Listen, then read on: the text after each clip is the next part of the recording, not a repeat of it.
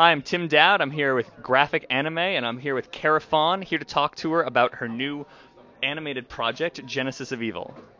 Cara, why don't you tell us a little bit about yourself? Um, well, I started out with this project in 03. Uh, I met the, the producers of it. They, they created a graphic novel series. It's called the Villicon Chronicles.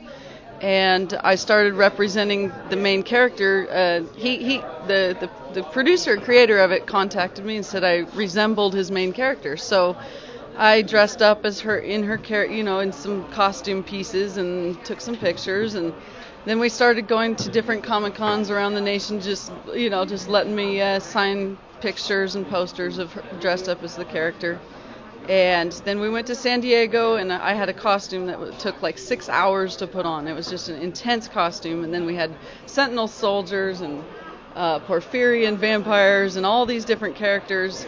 And it was such a huge thing in san diego. I was supposed to sign for like two hours. It ended up being four hours um, and then from that point, we decided to do a short film. So the short film is called Genesis of Evil, and it'll be a 20 to 30 minute short film uh, that we'll take to the film festivals later on.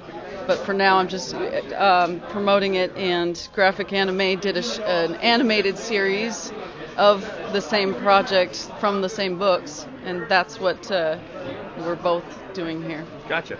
Now, can you tell me? What can you tell me a little bit about the actual story of the the, the uh, sorry the Vill- Villicon Chronicles? Well, the story. My character, she's she's a warrioress on a prison planet. Basically, she's dropped there when she was very little and grows up there. And the story is with her and her dad and all these Porphyrian vampires. And I mean, it, it just gets really intense. There's, what is a Porphyrian vampire? You used that term a couple times. That's kind of uh, the evil ones in the story. Okay. So um, there's a lot to the story. I'm I've gotten lost in it. So gotten lost? I've Alright. gotten lost in it. And she's the star of it, and she's gotten lost. What hope do you have at home to not get lost up in this wonderful sci-fi epic? It's an intense story, but there's several books to the story. He's written several scripts. Genesis of Evil is just a short little peek into it, and hoping in hopes to get uh, funding for a full length for several full length features, I should say, like a series, you know.